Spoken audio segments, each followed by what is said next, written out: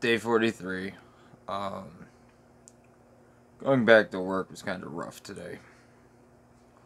It started off fine, but uh, we were just as busy as the last day I worked on Thursday. Uh, and I, I accounted it to what I was calling a holiday hangover.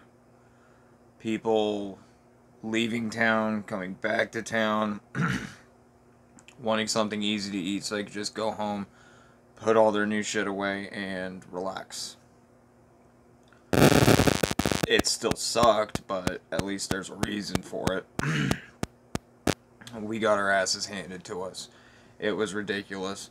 From 10:30 on, I didn't get out of there until 7, which is whatever, but plus we did a lot of uh, prep work that we had to uh,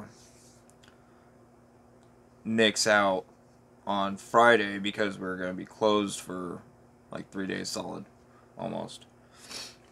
Um, and then I found out right before I left that apparently we have two McDonald's in this town. One of them is closed for renovation. And the other one, their computer system completely was shut down, so they had to close too. All I'm saying is I really hope they get that shit figured out by tomorrow.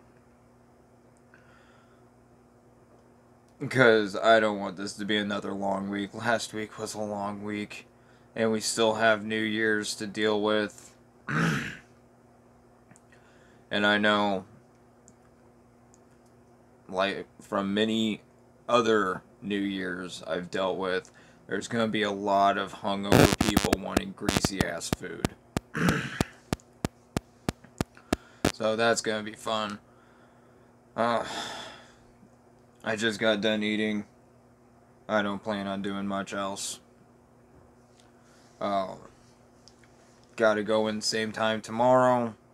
Probably deal with this shit again, but at least we got everything straightened out at work, so maybe it'll go a little smoother. Anyway, until tomorrow.